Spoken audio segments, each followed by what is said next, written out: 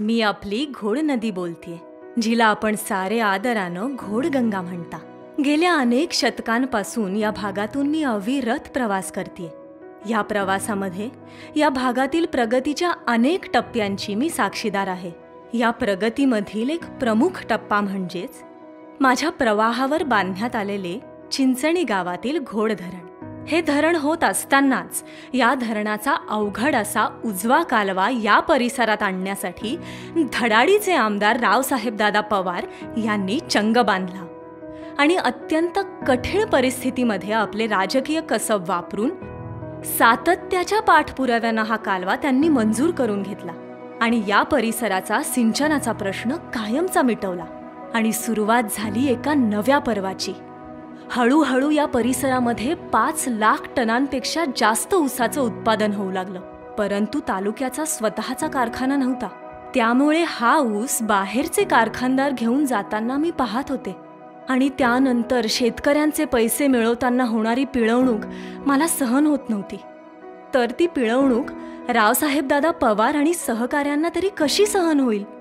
अशा कठीण परिस्थितीमध्ये खचून न जाता एका लढवय्या सैनिकाप्रमाणे त्या साऱ्यांनी संकल्प केला. माझ्या नावानं आपल्या तालुक्याचा कारखाना घोडगंगा सहकारी साखर कारखाना उभा करण्याचा. यावेळी कारखान्याच्या संपूर्ण प्रवर्तक संचालक मंडळाची रावसाहेब दादांना खंबीर साथ मिळाली. जगद्गुरु संत तुकाराम महाराजांनी म्हणलंच आहे निश्चयाचे बळ तुका म्हणे तेची फळ. निश्चय झालाच होता. प्रयत्नांमध्ये सातत्य होते. त्यामुळे कारखाना सुरू होणार हे निश्चित होते. आणि मग सुरू झाला प्रवास कारखाना उभारणीचा आणि भविष्य काळातील प्रगतीचा. अखेर तो दिवस उजाडला ज्याची मी आणि परिसरातील शेतकरी बांधव आतुरतेने वाट पाहत होते. न्हावऱ्याच्या माळावरती दिनांक अठ्ठावीस सप्टेंबर एकोणीसशे एक्क्याण्णव या दिवशी देशाचे द्रष्टे लोकनेते. तत्कालीन संरक्षण मंत्री माननीय शरदचंद्रजी पवार साहेबांच्या हस्ते आणि आपला जीवाभावाचा माणूस अर्थातच माननीय अजितदादा पवार यांच्या प्रमुख उपस्थितीत कारखान्याचा भूमिपूजन सोहळा संपन्न झाला. कारखाना उभारणीचं काम या परिसरात सुरू झालं. एकोणीसशे सत्त्याण्णव साली कारखाना उभारणी पूर्ण होऊन चाचणी गळीत हंगाम सुरू झाला आणि एकोणीसशे अठ्ठ्याण्णव साली कारखाना पूर्ण क्षमतेनं सुरू करण्यात आला. घोडगंगा सहकारी कारखान्यानं या परिसराला नवं चैतन्य बहाल केलं आणि सहकार क्षेत्रात कारखान्याची घोडदौड सुरू झाली. ती आजतागायत चालूच आहे. कालांतरानं रावसाहेब दादांचे चिरंजीव आणि आपले आवडते बाप्पू अशोक पवार यांनी कारखान्याची धुरा हाती घेतली आणि समर्थपणे सांभाळली. त्यांनी फक्त कारखान्याची जबाबदारी घेतली नाही तर परिसरातील प्रत्येक कुटुंबाची जबाबदारी घेतली. कारखान्याच्या मार्फत अनेक समाज उपयोगी कामं हाती घेतली गेली. ऊस उत्पादक शेतकऱ्यांची सर्वात मोठी समस्या ओळखून कारखान्यामार्फत शेतकऱ्यांना छोटे आणि उपयोगी ट्रॅक्टर उपलब्ध करून देण्यात आले. प्रदूषित पाण्यापासून पसरणारे आजार रोखण्यासाठी कारखान्यामार्फत वॉटर प्युरिफायर नागरिकांना उपलब्ध करून देण्यात आले. गृहिणींचा रोजच्या भाकरीचे पीठ दळण्याचा त्रास कमी करण्यासाठी छोट्या पीठाच्या गिरण्यांचे वाटप करण्यात आले. पवार साहेबांच्या स्त्री समानतेच्या धोरणाला अनुसरून कारखान्याची मोळी टाकण्याचा मान महिलांना महाराष्ट्रामध्ये प्रथमच आपल्या कारखान्यात देण्यात आला ह्याचा मला अभिमान आहे.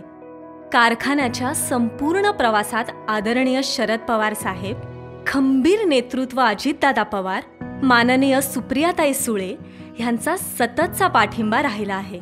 या सर्व प्रवासामध्ये सौ सुजाता अशोक पवार यांचा सक्रिय सहभाग अशोक पवारांना ताकद आणि शक्ती देत असतो. कारखान्याच्या प्रगतीमध्ये संचालक मंडळ सर्व सभासद कर्मचारी आणि अधिकाऱ्यांचाही मोलाचा वाटा आहे. आजपर्यंत कारखान्याला विविध पुरस्कारांनी सन्मानित करण्यात आलंय. यामध्ये अनेक राष्ट्रीय पुरस्कारांचाही समावेश आहे. दोन हजार नऊ साली साखर कारखान्याशी संलग्न डिस्टिलरीचे उद्घाटन माननीय अजितदादा पवार आणि माननीय दिलीपराव वळसे पाटील ह्यांच्या शुभ हस्ते करण्यात आलं. या डिस्टिलरीसाठी घेतलेल्या कर्जाची परतफेड कमीत कमी वेळेत केली गेली. हे देखील उल्लेखनीय आहे. दोन हजार दहा साली घोडगंगा सहकारी साखर कारखान्याचा नामविस्तार करून रावसाहेब दादा पवार घोडगंगा सहकारी साखर कारखाना असं करण्यात आलं.